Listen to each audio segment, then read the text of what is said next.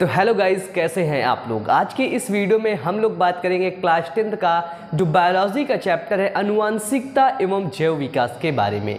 तो ये वीडियो आपके लिए बहुत ही ज़्यादा इंटरेस्टिंग होने वाला है। इस वीडियो में मैं पूरा चैप्टर क्लियर करूँगा और इतनी बारीकी से बायोलॉजी को समझाऊँगा कि पूरी बायोलॉजी आपके दिमाग के अंदर घुस जाएगी। तो आपको करना क्या है कि वीडियो को लाइक करके चैनल को सब्सक्राइब कर देना और वीडियो को पूरा देखना है और एक बात कि कॉपी पेन लेके बैठना है। तो चलिए बिना देर के हुए स्टार्ट करते हैं बायोलॉजी में अनुवांशिकता एवं जैव विकास। तो देखिए बच्चों, सबसे पहले हम समझेंगे अनुवांशिकता क्या होता है। अनुवांशिकता एवं अनुवांशिकी के बारे में समझेंगे। चैप्टर है आपका बच्चों, अनुवांशिकता एवं जैव विकास। ठीक है? अनुवांशिकता एवं जैव विकास। देखिए, अनुवांशिकी शब्द जो आता है, जैसे हम लोग कभी बाहर जाते हैं अपने मम्मी पापा के साथ तो वहाँ पे लोग हमको देखकर क्या बोलते हैं? लोग हमको देखकर बोलते हैं, अरे बेटा, तू तो अपने मम्मी की तरह दिखता है। अरे बेटा, तेरी नाक तो तेरे पापा की तरह है। बोलते हैं ना ऐसा? अरे यार, तुम तो अपनी लंबाई में अपने पापा की तरह गए हो बेटा। बोलते हैं, नहीं बोलते बोलते हैं, ऐसा ही बोलते हैं। अरे बेटा, ये तुम्हारा हाथ, तुम्हारा नाक बिल्कुल ना, तुम्हारे पापा की तरह दिख रहा है। ये जो तुम्हारी गर्दन है ना, ये तुम्हारी बिल्कुल मम्मी की तरह मिल रहा है। बोलते हैं ना ऐसे। अब ये ऐसे क्यों बोल देते हैं लोग? बताइए, ऐसा क्यों बोल देते? क्या आपने कभी सोचा है? क्या आपको किसी ने बोला है कि आपकी शक्ल किससे मिलती है? बताइए, क्या आप, क्या आपको किसी ने बोला है? बोला है? नहीं बोला। तो देखिए क्या होता है कि अनुवांशिकी जो होता है, अनुवांशिकी को हम बोलते हैं कि अनुवांशिकी के अंतर्गत अनुवांशिकता एवं विभिन्नताओं का अध्ययन किया जाता है। ठीक है? जो अनुवांशिकी होता है बेटा, उसके अंतर्गत अनुवांशिकी के अंतर्गत, अनुवांशिकी के अंतर्गत अनुवांशिकता वर्ड आ रहा है। अब अनुवांशिकता को हम लोग डिटेल में समझेंगे। अनुवांशिकी के अंतर्गत अनुवांशिकता एवं विभिन्नताओं का अध्ययन किया जाता है। किसका बेटा? विभिन्नताओं का, ठीक है? विभिन्नताओं का अध्ययन किया जाता है। विभिन्नताओं का अध्ययन किया जाता है। क्या कहलाता है बच्चों? अनुवांशिकी कहलाता है। तो अनुवांशिकी क्या होता है कि अनुवांशिकता एवं विभिन्नताओं। अनुवांशिकता क्या होता है कि जो एक पीढ़ी से दूसरी पीढ़ी में लक्षण जाते हैं, उसको बोलते हैं विभिन्नताओं। क्या होती है? वेरिएशन कि जो हम अपने मम्मी या पापा से थोड़ा सा विभिन्न होते थोड़ा सा अलग बाई प्रोडक्ट होते हैं, है ना? जैसे हमारे मम्मी पापा कुछ ऐसे बने हैं तो हम लोग थोड़ा सा बिल्कुल अलग होते हैं। होते हैं कि नहीं? सेम टू सेम हु तो मिल नहीं जाते हैं, कि मिल जाते बिल्कुल हु नहीं मिल जाते हैं। ठीक है? बिल्कुल हुबहू हम मिलते ही नहीं है, बिल्कुल थोड़ा सा थोड़ा थोड़ा हम मिलते हैं, बाकी हम अलग होते हैं, ठीक है? अलग नया प्रोडक्ट हम लोग होते हैं, जो बच्चे लोग होते हैं, वो नया प्रोडक्ट होते हैं, ठीक है? तो अनुवांशिकी क्या होता है कि अनुवांशिकी के अंतर्गत अनुवांशिकता एवं विभिन्नताओं का अध्ययन किया जाता है, उसको हम अनुवांशिकी कहते हैं। अनुवांशिकी को बेटा इंग्लिश में बोलते हैं जेनेटिक्स क्या बोलते हैं? जेनेटिक्स ठीक है? अब ये जेनेटिक्स का प्रयोग, जो जेनेटिक्स वर्ड था, इस जेनेटिक्स का प्रयोग सर्वप्रथम किसने किया? तो जेनेटिक्स का प्रयोग सर्वप्रथम डब्लू बेटसन ने। किसने बेटा? डब्लू बेटसन ने। जेनेटिक्स मतलब कि अनुवांशिकी शब्द का सबसे पहले प्रयोग किसने किया? तो डब्लू बेटसन ने। और कब किया? तो ये किए थे 1905 ईस्वी में। ठीक है? बताइए, अनुवांशिकी समझ में आया कि नहीं? बताइए बेटा। समझ में आया ना? अनुवांशिकी समझ में आया? अब हम लोग चलते हैं, देखते हैं अनुवांशिकता के बारे में। किसके बारे में बेटा? अनुवांशिकता के बारे में। ठीक है? कि अनुवांशिकता क्या होता है?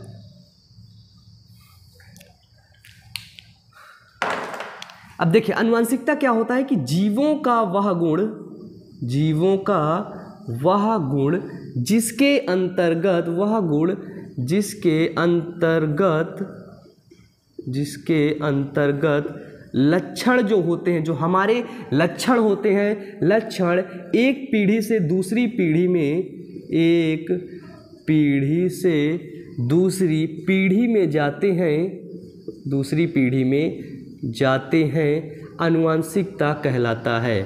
क्या कहलाता है बेटा? अनुवांशिकता कहलाता है। ठीक है? मतलब कि अनुवांशिकता का अर्थ हुआ कि जो एक पीढ़ी के जो लक्षण होते हैं, वो दूसरी पीढ़ी में जाते हैं। जैसे मनुष्य का बच्चा मनुष्य होता है, कुत्ते का बच्चा कुत्ता होता है। है ना? बिल्कुल हूबहू मतलब हूबहू तो नहीं मिलता, लेकिन थोड़ा थाड़ी वो मिलता रहता है, ठीक है? उसी को हम लोग बोलते हैं अनुवांशिकता। बताइए, समझ में आया कि नहीं अनुवांशिकता के बारे में? बताइए। अब ये जो लक्षण की बात होती है, क्या होते हैं? लक्षण।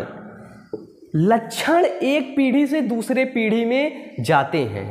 बताइए, लक्षण जो होते हैं एक पीढ़ी से दूसरे पीढ़ी में जाते हैं। आखिरकार ये लक्षण भरे कहाँ पे होते हैं? अब हमको पता है कि मोबाइल में अगर हमको पिक्चर ट्रांसफ़र करनी हो इस फ़ोन से उस फ़ोन में तो हम किसका यूज़ करते हैं? शेयरिट का। अगर शेयरिट नहीं है तो चिप में डाल के कॉपी कर लेंगे, फिर उसमें जाके देख लेंगे मूवी। बताइए, अगर लैपटॉप पे मूवी है तो क्या करेंगे? चिप में डाल के कॉपी करेंगे, फिर मोबाइल में डाल के देख लेंगे। मतलब कि वो चिप में पड़ी मूवी मतलब लक्षण समझिएगा। लक्षण एक पीढ़ी से दूसरी पीढ़ी में जा रहे हैं। जैसे चिप में मूवी लैपटॉप से मोबाइल में जा रही है। इसी तरह चिप सहारा हुई, जो चिप होती मेमोरी कार्ड होती, वो एक ले जाने वाली वो इकाई होती है है ना मूवी को। अब इधर ले जाने वाली मूवी को इधर ले जाने वाली लक्षण की इकाई कौन सी है? तो वो होती है बेटा डीएनए क्या होती है बेटा? डीएनए इसका फुल फॉर्म होता है deoxyribonucleic acid ठीक है बेटा? जो डीएनए होता है, जो यही जो डीएनए होता है, यही जो सूचनाएँ होती हैं, उनको ले जाता है। अब अगर आपसे कभी भी अब पूछा जाए कि सूचनाओं को कौन ले जाता है तो आपका जवाब क्या होना चाहिए? आपका जवाब सिर्फ़ एक ही होना चाहिए और वो होना चाहिए डीएनए। अब आपको पता होना चाहिए कि डीएनए की जो छोटी इकाई होती है, अब पूछा जाए, डीएनए के अंदर किसमें भरे होते हैं?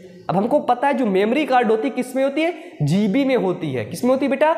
जीबी में। तो डीएनए की जो सबसे अंदर जो छोटी इकाई होती है, जिसमें लक्षण भरे रहते हैं, है ना? उसको बोलते हैं हम जीन। क्या बोलते हैं बेटा? जीन। ठीक है, अब बात आती है जीन की खोज सर्वप्रथम किसने किया था? जीन की खोज सर्वप्रथम बेटा जॉहनसन। जॉहनसन नामक वैज्ञानिक ने जीन की खोज की थी, इसको आपको, आपकी जानकारी के लिए बता रहा हूँ। ठीक है, अब देखते हैं कि जो लक्षण डीएनए में होता है अब ये डीएनए कहाँ पाया जाता है? बताइए। अब हम देखेंगे कि डीएनए जो होता है deoxyribonucleic acid, ये किधर पाया जाता है? तो बेटा जो डीएनए होता है ना, वो पाया जाता है कोशिका के। कोशिका में पाया जाता है। अब कोशिका में किधर पाया जाएगा? कोशिका में पाया जाता है हमारा केंद्रक। क्या पाया जाता है बेटा? कोशिका में पाया जाता है केंद्रक और केंद्रक के अंदर पाया जाता है गुणसूत्र। क्या पाया जाता है बेटा? गुणसूत्र। अब वो गुणसूत्र कुछ ऐसा बना होता है, आप लोगों ने देखा होगा, ठीक है? ये गुणसूत्र होता है। अब कोशिका के अंदर केंद्रक पाया जाता है, केंद्रक के अंदर गुणसूत्र, अब यही गुणसूत्र के अंदर क्या पाया जाता है बेटा? डीएनए, और डीएनए के अंदर जीन पाया जाता है। डीएनए कैसा होता है आपका? ये देखिए, ऐसा आपका कुछ डीएनए बना होता है। ठीक है? तो बताइए, समझ आया कि नहीं अनुवांशिकता? अब जो हम लोग अनुवांशिकता पढ़ेंगे, उसका अर्थ होता, उसका अर्थ जो होगा, वो आएगा आपके जो अनुवांशिकता के जनक हैं, है ना? अब बात की जाए अगर अनुवांशिकता के जनक, नीचे तक दिख रहा है ना बेटा? बताइए, नीचे कमेंट करिए। अनुवांशिकता के जनक, किसको माना जाता है बेटा? अनुवांशिकता के जनक ग्रेगर जॉन मिंडल को माना जाता है। किसको बेटा? ग्रेगर जॉन मिंडल को। ग्रेगर जॉन मिंडल जो है, उनको अनुवांशिकता का जनक माना जाता है और इन्होंने 1802 ईस्वी में, कब बेटा? 1802 ईस्वी में इन्होंने आए थे और ये चर्च में पादरी थे और ये ग्रेगर जॉन मिंडल कहाँ के रहने वाले थे? तो ये बच्चों थे ऑस्ट्रिया के रहने वाले और ये क्या थे? ये पादरी थे। अब थोड़ा सा ग्रेगर जॉन मिंडल के बारे में जान लेते हैं। देखिए, ग्रेगर जॉन मिंडल ऑस्ट्रिया के रहने वाले एक वैज्ञानिक थे। ये चर्च में पादरी का काम किया करते थे। अब पादरी का मतलब क्या होता है? पादरी का मतलब होता है कि फूलों में, पौधों में पानी डालना, है ना? उनकी सेवा करना, उनकी देख रेख करना, ये काम था इनका। तो ग्रेगर जॉनमिंडल वो देखते हैं कि चर्च में एक तरफ़ मटर का पौधा लगा हुआ है। मटर का पौधा। कुछ में से कुछ पौधे देख रहे हैं, छोटे, कुछ बड़े, कुछ और बड़े, कुछ और बड़े। है ना? कुछ की फली बड़ी होती, छोटी होती है, कुछ के फूल हरे होते, पीले होते, काले होते, लाल होते, इस तरह देखें। मतलब देखें कि इसमें वेरिएशन है, इसमें विभिन्नता है। मतलब कि मटर तो सब में हो रहा है, लेकिन अलग अलग मटर हो रहा है। तो भाई जायज़ सी बात है, इन्होंने सोच लिया कि आखिरकार ऐसा क्यों? तब इन्होंने 1802 ईस्वी में जब लोग इस चीज़ को भगवान पर छोड़ दिया करते थे कि भगवान है, जो भी है इस सृष्टि में, उसने भगवान भगवान को इंडिकेट कर दिया करते थे ना? तो इन्होंने भगवान को ठुकराया और बोला, अपना एक मॉडल दिया जिसको हम लोग आज अनुवांशिकता के नियम के नाम से जानते हैं। इन्होंने अनुवांशिकता के तीन नियम दिए। लेकिन उस समय उस समय लोग भगवान को मानते थे, इसलिए इनको इनको चुप करवा के बैठा दिया गया कि तुम चुप रहो, तुम गलत बोल रहे हो, ऐसा कुछ नहीं होता है। तो क्या हुआ कि ग्रेगर जॉनमेंडल क्या क्या होते हैं कि अपना जो नियम था, उसको एक जो मतलब कि वहाँ का पत्रिका थी, न्यूज़पेपर था, उसमें छपवा दिए थे। तो न्यूज़पेपर पढ़ा था, जब धीरे धीरे बाद में जब डब्ल्यू बेटसन आए 1905 ईस्वी में तमिन तमिन इनका धीरे धीरे अनुवांशिकता का नियम खुलता गया और वो सत्य होता गया। ग्रेगर जॉन मेंडल एक ऐसे वैज्ञानिक है जिनको मरने के बाद नोबेल पुरस्कार मिला था। मरने के बाद इनको नोबेल पुरस्कार मिला था। ठीक है बच्चों? तो आप लोग समझ चुके हैं अनुवांशिकता के बारे में, ठीक है? अब ग्रेगर जॉन मिंडल के बारे में भी जान चुके हैं। इस वीडियो में हम लोग ग्रेगर जॉन मिंडल के तीनों नियम फुल डिटेल से पढ़ेंगे, ठीक है? तो आगे बढ़ने से पहले अब हम लोग देख लेते हैं इसका जैव विकास। क्या बेटा? जैव विकास। अभी तक तो हमने अनुवांशिकता और अनुवांशिकी देखा तो अगर आपने भी इस तक स्क्रीनशॉट नहीं लिया तो आप स्क्रीनशॉट ले लीजिए। अब हम लोग देखेंगे जैव विकास के बारे में। तो आई होप आपने स्क्रीनशॉट ले लिया होगा, अब मैं इसको मिटा रहा हूँ। ठीक है बेटा? तो जब देखो, सोचो, मिंडल को मरने के बाद नोबेल पुरस्कार मिला। उस समय लोग क्या होते थे? लोग जो थे, वो भगवान को मानते थे। बोलते थे अच्छा ये सब भोजन है, ये है, सब भगवान ने ही दिया है। लेकिन मिंडल भैया थे उल्टी खोपड़ी के। वो बोले, नहीं, भगवान भगवान तो होते हैं, लेकिन ऐसा भगवान ने नहीं किया है, ऐसा हमने ही किया है। ठीक है बेटा? तो अब हम समझेंगे जैव विकास के बारे में। इसके बारे में? अरे यार शाम को कूलर के पास लेट गया। बहुत जुकाम हो गई मेरे को। ठीक है? कुछ जुकाम का इलाज है क्या तुम लोगों के पास? जुकाम का इलाज है क्या तुम लोगों के पास? अगर है तो नीचे कमेंट बॉक्स में कमेंट करिए। ठीक है? अब जैव विकास का मतलब क्या होता है? जैव का मतलब होता है जीवों में विकास का मतलब विकास। जीवों में होने वाला विकास, जीवों में होने वाले विकास को, जीवों में होने वाले विकास को जैव विकास कहते हैं। बिल्कुल सिंपल डिफिनीसन बताइए, इतनी सिंपल कहीं मिलेगी और इतना अच्छे से कोई समझाएगा यूट्यूब पे? बताओ। अगर समझाए तो बता देना भैया, मैं भी जाके वहाँ पे समझ लूँगा। ठीक है? तो जैव विकास क्या होता है कि जीवों में होने वाले विकास को जैव विकास कहते हैं। अब इसमें क्या होता है कि एक पीढ़ी से दूसरी पीढ़ी में, देखिए इसका डिफिनेशन लिखेंगे कि एक पीढ़ी से दूसरी पीढ़ी में होने वाला अनुवांशिक परिवर्तन होने वाले अनुवांशिक परिवर्तन को ही जैव विकास कहते हैं। अब इसका दूसरा डिफिनीशन है कि जीवों के जीवों के एक पीढ़ी से दूसरे पीढ़ी में। किसी का होगा बेटा तो एक पीढ़ी से दूसरा पीढ़ी जाएगा ही। एक पीढ़ी से दूसरे पीढ़ी में, दूसरे पीढ़ी में होने वाला अनुवांशिकता, होने वाला अनुवांशिकी परिवर्तन। क्या बेटा? होने वाला अनुवांशिक परिवर्तन अब अनुवांशिक परिवर्तन आप बेहतर तरीके से समझ चुके हैं, ठीक है? होने वाला अनुवांशिक परिवर्तन जैव विकास कहलाता है, ठीक है? जैव विकास कहलाता है। अब बेटा अब आप फिर यहाँ पे समझिए कि जो जैव विकास है, जो जीवों में जो विकास होता है, वो किसके द्वारा होता है? देखिए, सबसे पहले हम समझेंगे कि एक नर होता है, एक मादा होता है। ठीक है? नर में कितने क्रोमोसोम होते हैं कितने गुणसूत्र होते हैं? गुणसूत्र के अंदर डीएनए पाया जाता है और डीएनए के अंदर जीन। नर में होते हैं छियालीस गुणसूत्र और मादा में होते हैं भी छियालीस गुणसूत्र। जब नर से शुक्राणु बनता है, क्या बनता है बेटा? शुक्राणु तो यहाँ पे कितने बनते हैं? तेईस गुणसूत्र बनते हैं। और जब यहाँ से आपका अंडाणु बनता है मादा से तो यहाँ पे भी अर्धसूत्री विभाजन होता है, जिसके कारण गुणसूत्रों की संख्या आधी हो जाती है। यहाँ पे मतलब कि अर्ध सूत्री विभाजन होता है। ठीक है बेटा? अर्धसूत्री विभाजन। यहाँ पे गुणसूत्रों की संख्या आधी हुई। और जब ये आपस में मिलते हैं देखिए, जब तेईस गुणसूत्र नर के मिलेंगे, इन चचा के मिलेंगे और तेईस गुणसूत्र ये चची के मिलेंगे तो क्या होगा भैया? इन दोनों का प्रोडक्ट जब एक बनेगा तो थोड़ा सा इनसे अलग तो होगा ना, ऐसे इनका होगा ना। देखिए, चाचा की शक्ल मिलाइए, चची की मिलाइए, अब बच्चे की मिलाइए। अलग है ना? है कि नहीं? देखिए, मिलाइए। मैं बिल्कुल बना दिया यार। अब इस बंदे के अंदर छियालीस गुणसूत्र हैं। छियालीस गुणसूत्र हैं। ठीक है? अब समझ लो। इस बंदे के अंदर छियालीस गुणसूत्र हैं और ये चचा से और चची से बिल्कुल अलग दिख रहा है, ठीक है? बस थोड़ा सा मेल खा रहा है, ठीक है? अब यही होता है जीवों में परिवर्तन। अब देखिए, ये यहाँ पे नर है, ये मादा है, इनके में परिवर्तन हो गया कि नहीं? बताइए, इन चचा के, चची के, जब ये नया बच्चा पैदा हुआ तो नया परिवर्तन कुछ हुआ कि नहीं? आप लोग पहले ये बताइए। ठीक है? तो देखो, अब हम लोग जब गुणसूत्रों के बारे में पढ़ते हैं तो आपके चैप्टर में है कि किन्नर या छक्के का जन्म कैसे होता है। ठीक है? तो हम लोग इसको समझ लेते हैं। उसको समझने से पहले हम लोग समझेंगे कि लड़का या लड़की का जन्म कैसे होता है। ठीक है? तो यदि आपने अभी तक इसका स्क्रीनशॉट नहीं लिया तो इसका स्क्रीनशॉट ले लीजिए और इसको अपने कॉपी पे नोट डाउन कर लीजिए। ठीक है? तो आई होप आप लोगों ने स्क्रीनशॉट ले लिया होगा। अब मैं इसको मिटाता हूँ और मैं पढ़ाता हूँ मानव के गुणसूत्र के बारे में। ठीक है? किसके बारे में बेटा? गुणसूत्र के बारे में। देखो, इसमें ब्लैक ब्लैक हो जा रहा है यार। चलिए हम कल डस्टर मंगवाते हैं इसको मिटाने के लिए। एक्चुअली पढ़ने की वजह से यार मैं भी बाहर नहीं जा पाता हूँ ज़्यादा, इस वजह से नहीं हो पाता है। सारी चीज़ें, बहुत चीज़ें मेरे पास जो कम हो जाती हैं और कोई काम करने वाला भी नहीं मेरे पास की, है ना, कि कोई हो साथ में, सामान वामान ले आया करे मेरा। तो देखिए, जब हम लोग समझेंगे नर होता है और मादा होता है, ठीक है? अब हम लोग समझेंगे सबसे पहले गुण सूत्र के बारे में, ठीक है? गुण सूत्र होते हैं छियालीस। आइए जोड़े में रहते हैं, इनको बोलते हैं तेईस जोड़े, ठीक है? तेईस जोड़े गुणसूत्र होते हैं मतलब कि छियालीस गुणसूत्र होते हैं। इसमें से बाईस जोड़े गुणसूत्र, बाईस जोड़े गुणसूत्र को हम लोग बोलते हैं बेटा लिंग अलिंग गुणसूत्र। क्या बोलते हैं बेटा?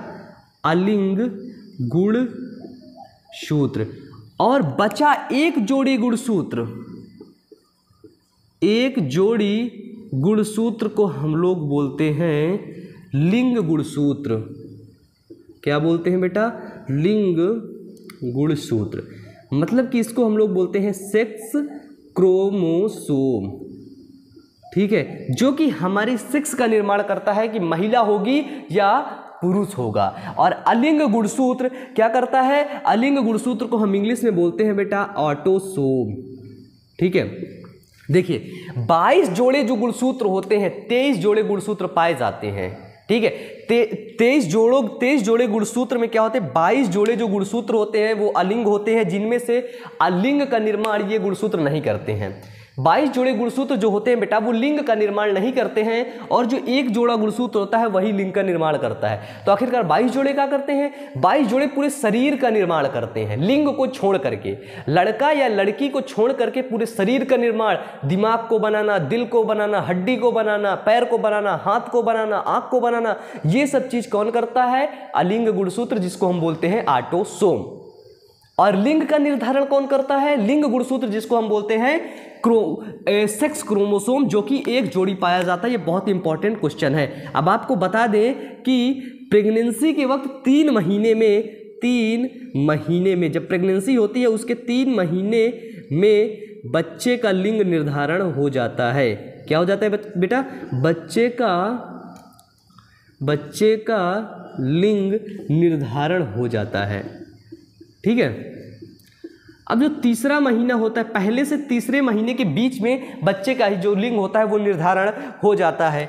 अब आपको पता है कि जो मेल होता है, जो नर होता है, उसका क्रोमोसोम होता है एक्स वाई और जो मादा होती है, उसका क्रोमोसोम होता है एक्स एक्स अब मैं आपके जानकारी के लिए बता दूँ कि जब जब पुरुष होगा, जब लड़का होगा या पुरुष होगा या महिला होगी, पुरुष का गुणसूत्र होता है वाई और महिला का गुणसूत्र होता है एक्स ठीक है? अगर वाई गुणसूत्र एक्स के साथ मिल जाएगा तो क्या बनाएगा? एक्स वाई मतलब कि पुरुष बनाएगा। और अगर पुरुष का गुणसूत्र एक्स महिला का गुणसूत्र एक्स से मिलेगा तो क्या बनाएगा? लड़की। मतलब कि ये डिफरेंस है। पुरुष का वाई होगा, महिला का एक्स होगा। अब आप लोग यहाँ पे देखें कि ये जो नर है, नर में एक्स और वाई दोनों गुणसूत्र पाए पाए जाते हैं। इनमें से तेईस जोड़े गुणसूत्र अलिंग होते हैं और एक जोड़े गुणसूत्र लिंग गुणसूत्र होते हैं। ये आपको पता चल गया। तो देखिए देखिए बेटा, यहाँ पे जो एक्स गुणसूत्र है, उसको यक्ष गुणसूत्र अगर इस मादा के एक्स गुणसूत्र से मिलेगा, किससे मिलेगा? एक्स एक्स से मिलेगा। तो क्या बनाएगा बेटा? एक्स एक्स बनाएगा।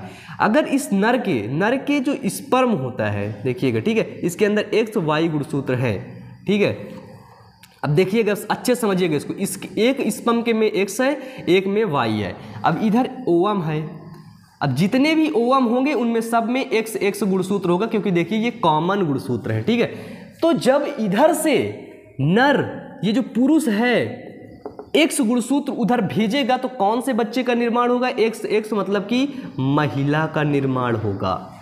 पुरुष मतलब कि मेल अगर एक्स गुणसूत्र भेजेगा तो किसका निर्माण होगा? महिला का। अगर पुरुष का स्पर्म जो है, इसको हम क्या बोलते हैं? स्पर्म, जिसको हम लोग बोलते हैं शुक्राणु। अगर ये वाई क्रोमोसोम भेजेगा इधर और इधर के यक्ष क्रोमोसोम से मिलेगा तो बेटा ये क्या निर्माण करेगा? ये बनाएगा इधर का वाई इधर का यक्ष, इधर का वाई मतलब कि एक्स, वाई किसका क्रोमोसोम होता है? नर का या पुरुष का। तो ये क्या बनाएगा? पुरुष।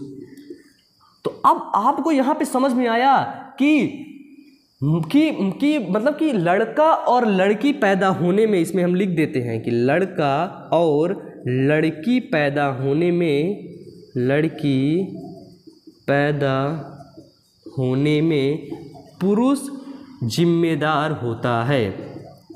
पुरुष जिम्मेदार होता है। महिला को सिर्फ़ स्पम दिया जाता है। अब जैसे मैं तुमको अच्छी रोटी दूँगा दूँगा अच्छा खाना दूँगा तो तुम्हारे पास अच्छा दिमाग आएगा। और गंदा खाना दूँगा तो गंदा दिमाग आएगा आएगा ना? ऐसे होता है। अब इधर जब पुरुष एक्स गुणसूत्र देगा तो क्या बनेगी? लड़की बनेगी। अगर पुरुष वाई गुणसूत्र देगा तो लड़का बनेगा। मतलब कि लड़का या लड़की होने पर महिला का कोई भी दोष नहीं होता है। ये किसका दोष होता है? लौंडे का दोष होता है, लड़का का दोष होता है। क्यों? क्योंकि उसने वही गुणसूत्र भेजा है। अब देखिए, उसका भी दोष नहीं होता है। दोष किसका होता है? दोष होता है सला शुक्राणु का। शुक्राणु का दोष क्यों होता है?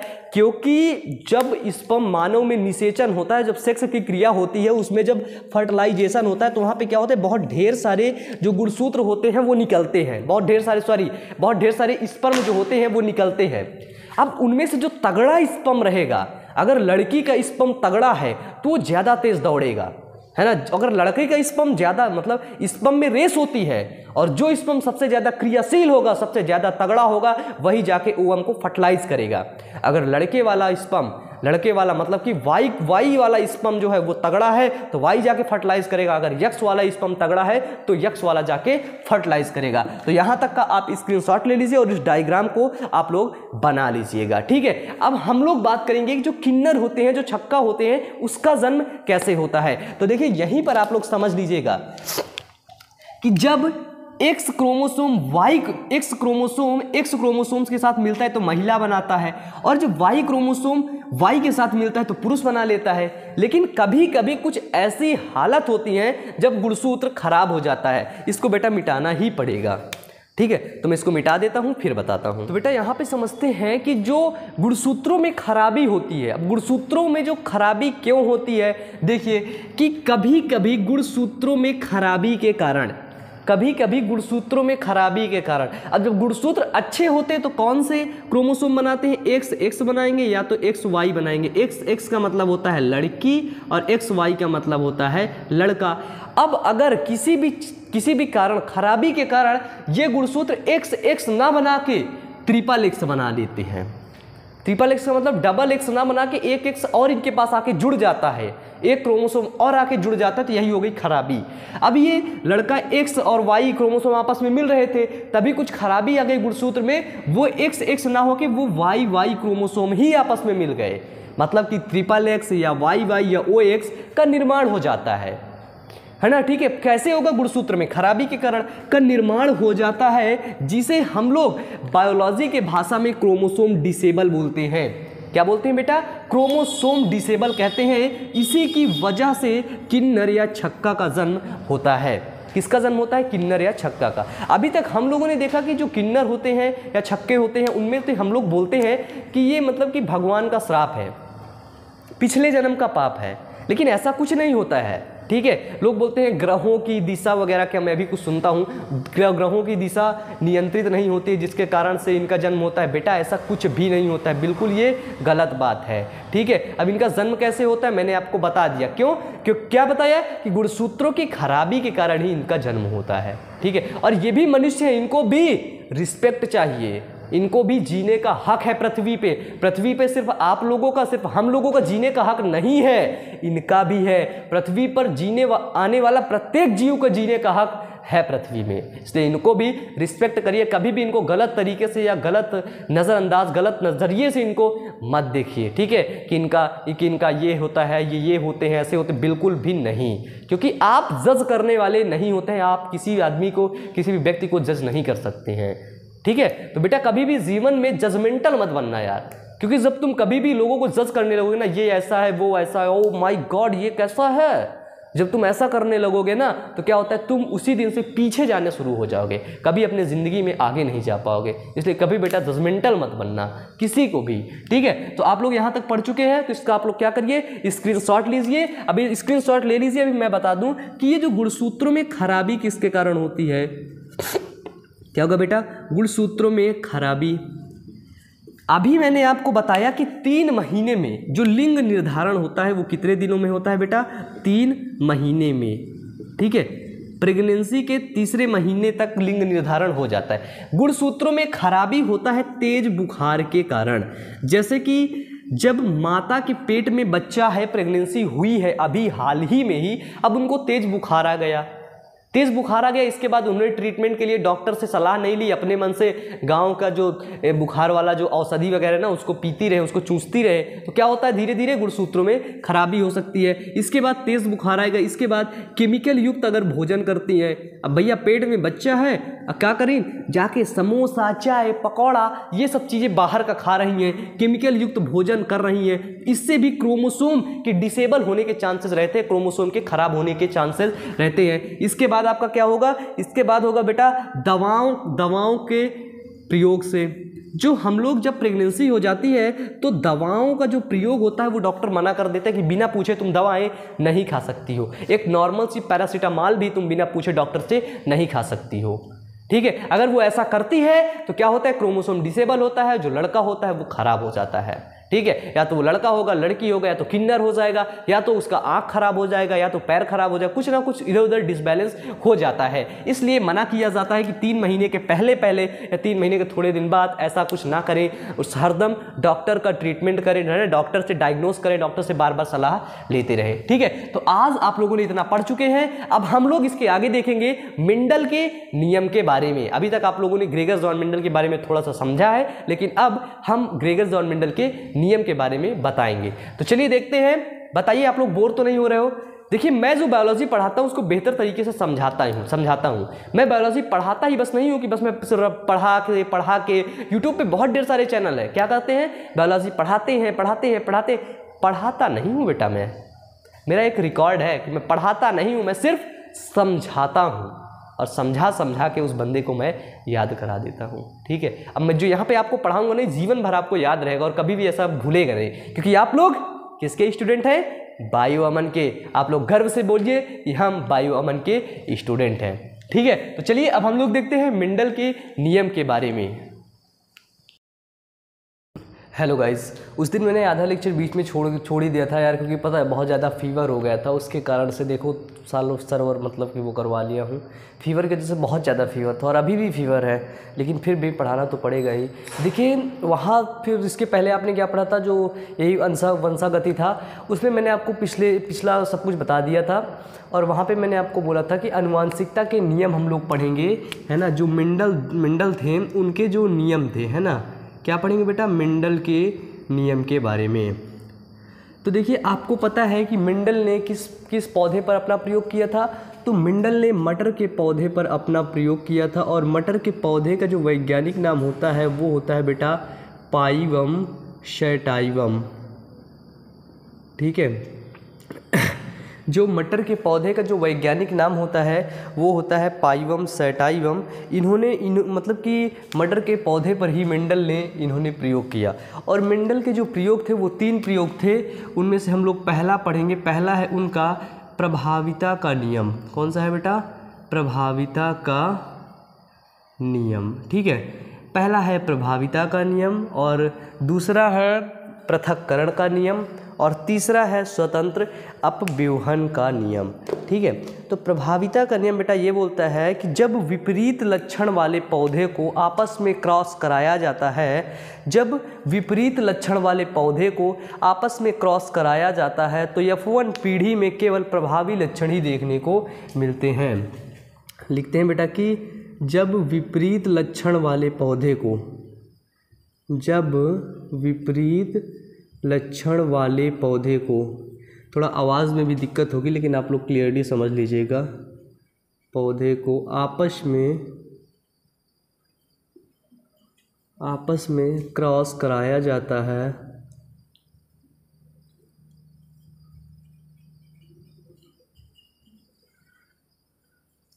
जब विपरीत लक्षण वाले पौधे को आपस में क्रॉस कराया जाता है तो तो एफ़ वन पीढ़ी में तो एफ़ वन पीढ़ी में केवल प्रभावी लक्षण ही देखने को मिलते हैं। ठीक है बेटा?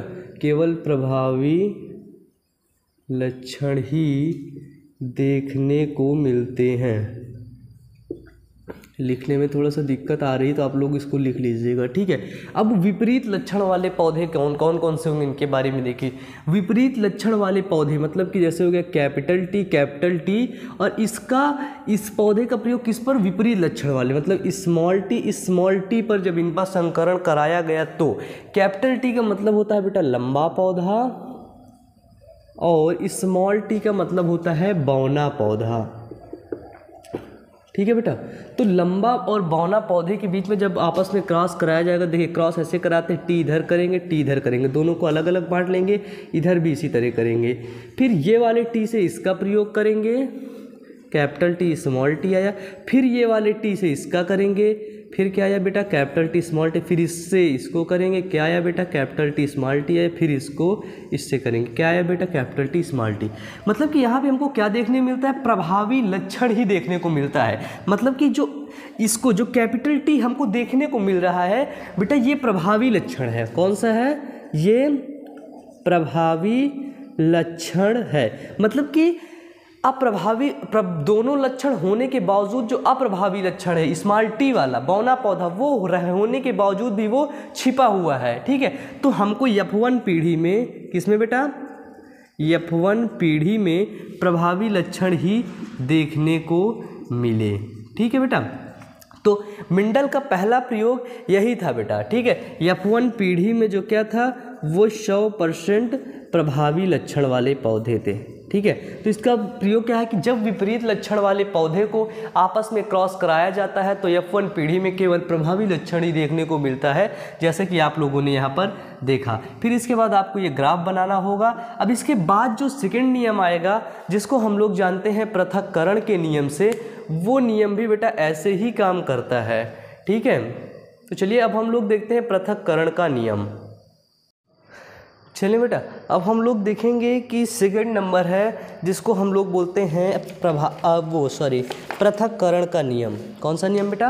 पृथककरण का नियम। तो पहला नियम आप लोगों ने देख लिया, उनमें से जो यपवन पीढ़ी प्राप्त हुई है, उसी में से पृथककरण कराया जाएगा, ठीक है? इसको हम लोग बोलते हैं पृथककरण का नियम। या बेटा, इसको हम लोग शुद्धता का नियम भी बोलते हैं, ठीक है? इसको याद रखिएगा। अगर पृथककरण के नियम से आता है तो भी यही लिखेंगे और शुद्धता के नियम से आता है तो भी यही लिखेंगे। तो हम यहाँ पे ये लिखेंगे कि यफवन पीढ़ी से प्राप्त संतति को किससे बेटा? यफवन पीढ़ी से प्राप्त संतति को, संतति का मतलब जो कैपिटल टी, स्मॉल टी प्राप्त हुए थे, चार संतति उसमें से। यफवन पीढ़ी से प्राप्त संतति को स्वपरागण कराने पर क्या बेटा? स्व परागण अब स्वपरागण क्या होता है? मतलब कि उनको आपस में ही क्रॉस कराने पर। ठीक है स्वपरागण का मतलब होता है उनको आपस में ही क्रॉस कराने पर। स्वपरागण स्वपरागण कराने पर एफ़ टू पीढ़ी में, अब वो बेटा एफ़ वन पीढ़ी थी। वो जो पहला नियम था, वो एफ़ वन पीढ़ी थी और ये एफ़ टू पीढ़ी है। तो एफ़ टू पीढ़ी में तीन अनुपात एक के अनुपात में लक्षण देखने को मिले। तीन अनुपात एक के अनुपात में लक्षण देखने को मिले।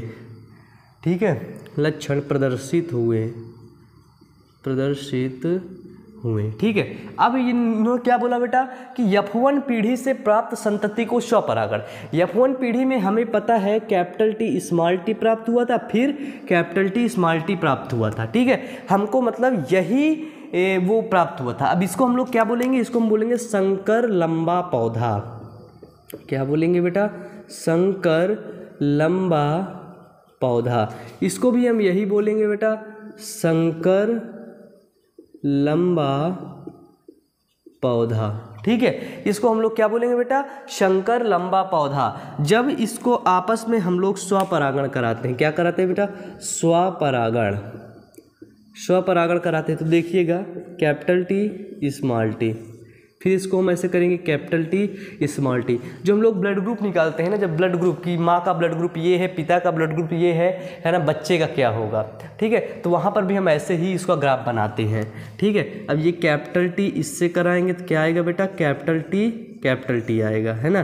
फिर ये कैपिटल टी इससे कराएँगे तो क्या आएगा बेटा? कैपिटल टी स्मॉल टी आएगा। फिर ये कैपिटल टी स्मॉल टी फिर ये क्या आएगा बेटा? कैपिटल टी स्मॉल टी मतलब कि यहाँ पे लक्षण देखिए, capital T capital T capital T, है ना? मतलब कि जो प्रभावी लक्षण है, जो प्रभावी लक्षण की मतलब संकर लंबा पौधा, जो लंबा पौधा का जो लक्षण है, वो हमको तीन भागों में देखने को मिला। मतलब कि तीन अनुपाते एक के अनुपात में लक्षण देखने को मिला कब बेटा? फिनोटाइप में। अब फिनोटाइप जीनोटाइप क्या होता है? देखिए जीन का मतलब होता है जब उसमें अंदर से हम लोग झाँक के देखें। अब इसमें से हम लोग लंबा लंबा देख रहे हैं capital T capital T capital T मतलब कि तीन। ये एक टी स्मॉल टी है मतलब एक लिख दिए, है ना? इसको बोलेंगे फिनोटाइप। अब हम जीनोटाइप मतलब कि हम सब उसका जीन तक मिलाएँगे, इसका जीन तक मिलाएँगे। फिनोटाइप तीन अनुपात एक होगा बेटा, और अगर इसका हम जीनोटाइप देखेंगे तो जीनोटाइप होगा एक एक है आपका शुद्ध लंबा पौधा, एक, अनुपात दो संकर लंबे पौधे, ये आएगा इसका बेटा जीनोटाइप।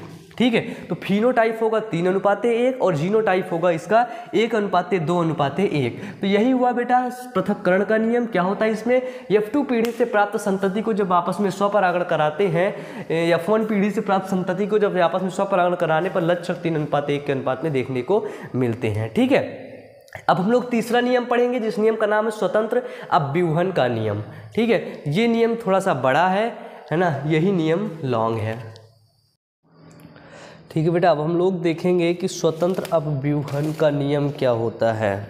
ठीक है? स्वतंत्र अपव्यूहन का नियम हम लोग देखेंगे, जिसको कि तीसरा नियम है। स्वतंत्र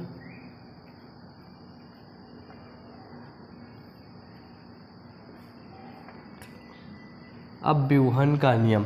तो देखो, दो नियम आपने पढ़ लिया है, ठीक है? तो नीचे कमेंट करके बताओ, वो दोनों नियम समझ में आए हैं कि नहीं? बताइए, जल्दी बताइए।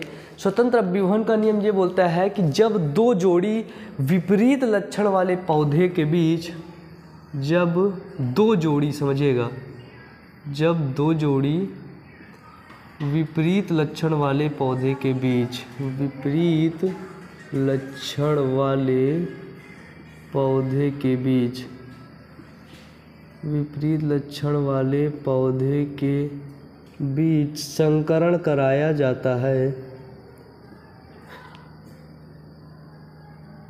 संकरण कराया जाता है तो उसे स्वतंत्र अभ्यूहन का नियम कहते हैं।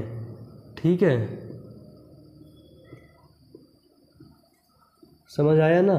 स्वतंत्र अभ्यूहन का नियम कहते हैं। मतलब कि जब दो जोड़ी विपरीत लक्षण वाले पौधे के बीच, अब दो जोड़ी हम लोग कैसे समझेंगे, इसको आप लोग समझिएगा, ठीक है?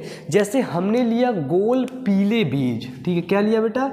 गोल पीले बीज, गोल पीले बीज। हमने गोल के लिए संकेत किया कैपिटल आर। और पीले के लिए संकेत किया स्मॉल वाई हमने लिया गोल और पीले बीज वाले पौधे लिया। इसके बाद हमने लिया झुर्रीदार। क्या लिया बेटा? झुर्रीदार हरे बीज। ठीक है? हमने पहले लिया गोल पीले बीज, फिर झुर्रीदार हरे बीज। झुर्रीदार हरे बीज का मतलब हमने ले लिया स्मॉल आर और स्मॉल वाई ये हमने ले लिया।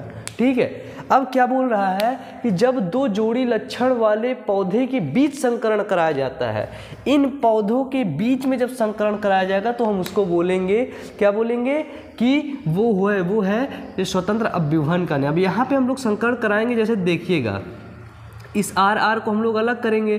क्या आएगा बेटा? Capital R capital R. फिर ये इस वाई वाई को हम लोग अलग करेंगे। ये है कैपिटल वाई और ये आएगा कैपिटल वाई। अब हम इन जब आपस में संकरण कराएँगे इसका तो ये देखिए, ये इससे संकरण करेगा तो क्या आएगा? Capital R small capital Y. ठीक है, इधर कैपिटल ही है सब। फिर इससे कराएगा तो क्या आएगा बेटा? Capital R, capital Y. फिर इससे मतलब इसमें सभी आएँगे कैपिटल आर, कैपिटल वाई। ठीक है, देखिएगा। फिर इधर कैपिटल आर, कैपिटल वाई। अब जब इधर जो, जैसे हमने ऐसा इधर कराया, वैसे इधर कराएँगे तो इधर भी बेटा वैसे ही आएँगे। इधर हमने कराया, ये हुआ हमारा स्मॉल आर स्मॉल आर अब इधर हमने करा दिया, ये हुआ स्मॉल वाई और ये हुआ हमारा स्मॉल वाई ठीक है? अब देखिए, ये स्मॉल आर हुआ स्मॉल वाई हुआ। ठीक है? अच्छे समझिएगा, इसी तरह आपको कराना है। ये नियम थोड़ा सा बड़ा है। ठीक है? और ये नियम भूल भी जाता है। अक्सर मैं देखा हूँ लड़कों को। ये नियम मैं भी जब पढ़ता था तो मैं एक दो बार पढ़े थे हम। इसके बाद हमें भूल गया था। फिर जब हम दोबारा से पढ़ें, तिबारा से पढ़ें, तब ये चीज़ें याद हुई। अब क्या बोला कि ये जो यफ वन पीढ़ी है है ना? यफवन पीढ़ी में हमको मिला कैपिटल आर और capital Y, small R, small Y. तो हम लोग यफ वन पीढ़ी में जो हुआ पर परागण हुआ। अब हम लोग यफ वन पीढ़ी में इधर क्या कराएँगे? इधर हम लोग कराएँगे स्वपरागण। ठीक है, इनको आपस में परागण कराएँगे। अब इधर क्या था बेटा? इधर था पर परागण। जब इनको हम लोग स्वपरागण कराएँगे, देखिए ये सब चीज़ें मेल खा रही हैं तो कैपिटल आर कैपिटल वाई और इधर भी मेल खा रही हैं तो स्मॉल आर स्मॉल वाई हम लोग इतना इधर लिख देंगे। ठीक है, अब इसका नाम क्या होगा बेटा? इसका नाम होगा शंकर गोल पीले बीज। क्या होगा बेटा? इसको हम लोग बोलेंगे शंकर गोल पीले बीज, ठीक है? शंकर शंकर गोल पीले बीज, ठीक है? अब हमको मिला capital R capital R capital Y small R small Y ठीक है? अब हम capital R capital Y small R small Y को हम लोग स्वपरागण कराएँगे आपस में, ठीक है? अब हम लोग जब स्वपरागण कराएँगे तो देखिएगा। Capital R capital Y, small R, small Y. जब हम इसको आपस में स्व परागण कराएँगे बेटा तो आर आर हम लोग अलग करेंगे। तो कैपिटल आर का परागण इससे कराएँगे। तो हमको मिलेगा capital R, small Y, capital Y, ठीक है? फिर हम कैपिटल आर का परागण स्मॉल वाई से कराएँगे। तो क्या मिलेगा? कैपिटल आर स्मॉल वाई इसी तरह हम स्मॉल वाई का परागण कैपिटल वाई से कराएँगे। क्या मिलेगा? स्मॉल वाई और कैपिटल वाई फिर स्मॉल आर का परागण स्मॉल वाई से कैपिटल स्मॉल वाई से कराएँगे। तो ये देखिए, हमें इतना मिला। कैपिटल आर कैपिटल वाई है ना? इतना हमको मिलेगा और इतना बेटा हमको इधर भी मिलेगा। जब कैपिटल आर इससे कराएँगे तो क्या मिलेगा? कैपिटल आर कैपिटल वाई है ना? फिर क्या मिलेगा? Capital R small Y capital sorry है ना? फिर इधर भी बेटा मिलेगा स्मॉल आर कैपिटल वाई फिर फिर क्या मिलेगा बेटा? स्मॉल आर स्मॉल वाई इतना हमको इधर भी मिला, इतना हमको इधर भी मिला। अब हम लोग इसका आपस में संकरण कराएँगे। ठीक है? इसको हमने बोला शंकर गोल पीले बीजपत्र वाले पौधे, ठीक है? इसको हमने बोला शंकर गोल पीले बीजपत्र वाले पौधे। तो इसको आप लोग समझ चुके हैं तो इसका आप लोग क्या करिए? इसका स्क्रीनशॉट ले लीजिए। अब हम लोग इसी का, जो ये है ना, इसका हम लोग संकरण कराएँगे। किसका किसका? Capital R capital Y capital R small Y small R capital Y small R small Y capital R capital Y और capital R small Y small R capital Y small R small Y इन आपस में इसका संकरण कराएँगे। अब आपस में इसका संकरण कराने के लिए हम लोग ऐसे तो इसका करा नहीं सकते कि आरेख के माध्यम से करा दे तो हम लोग ऐसे इसका नहीं कराएँगे करा पाएँगे। तो फिर कैसे कराएँगे? इसको हम लोग कराएँगे पुन्नेट के चकर बोर्ड से। किसमें से कराएँगे बेटा? हम लोग कराएँगे इसका चकर बोर्ड से। तो आप लोग क्या करिए, इसका स्क्रीन ले लीजिए। ठीक है बेटा? तो आई होप आप लोगों ने स्क्रीनशॉट ले लिया होगा, मैं इसको मिटा देता हूँ। अब हम लोग देखेंगे इसको इसको मिटाने के बाद हम लोग देखेंगे चकर बोर्ड ठीक है? चकर बोर्ड में हम लोग जब इसको लिखेंगे, तब आपके समझ में आएगा। ठीक है?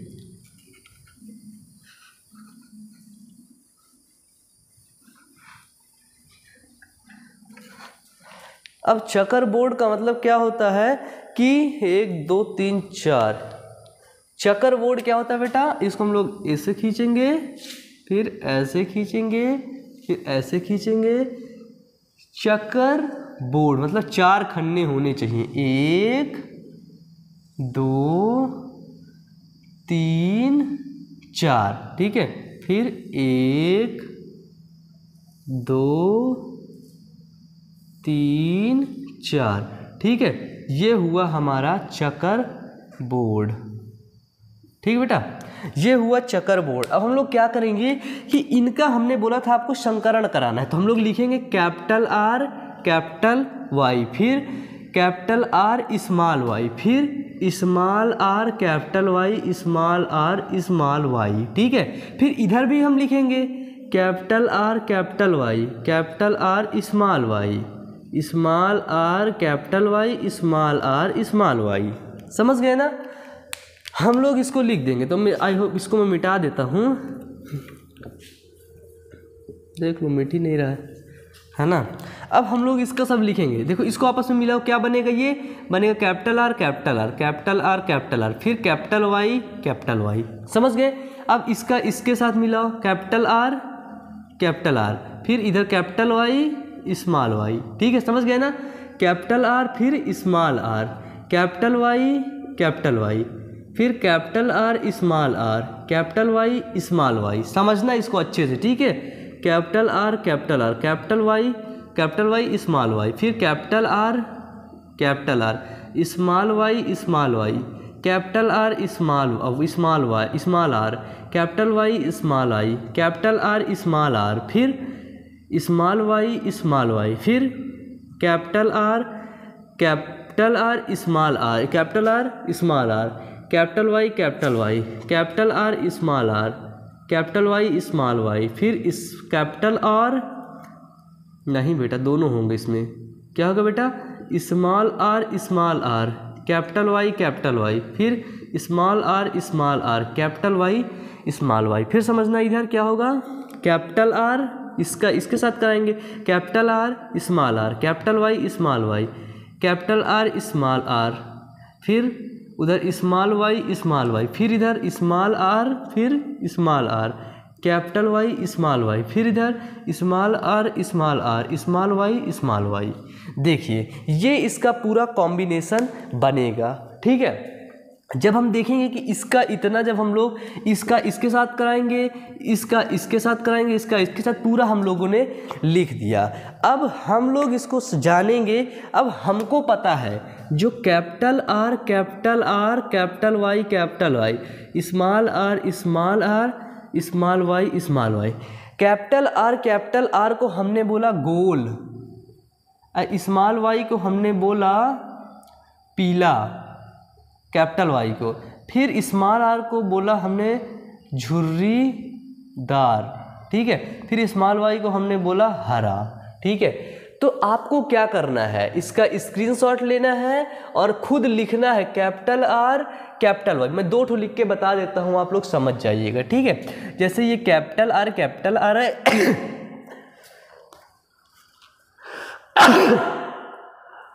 सॉरी जैसे ये capital R capital R small Y small Y capital R capital R small capital Y capital Y यहाँ पे है तो हम लोग यहाँ पे क्या लिखेंगे? हम लोग लिखेंगे गोल पीला। ठीक है?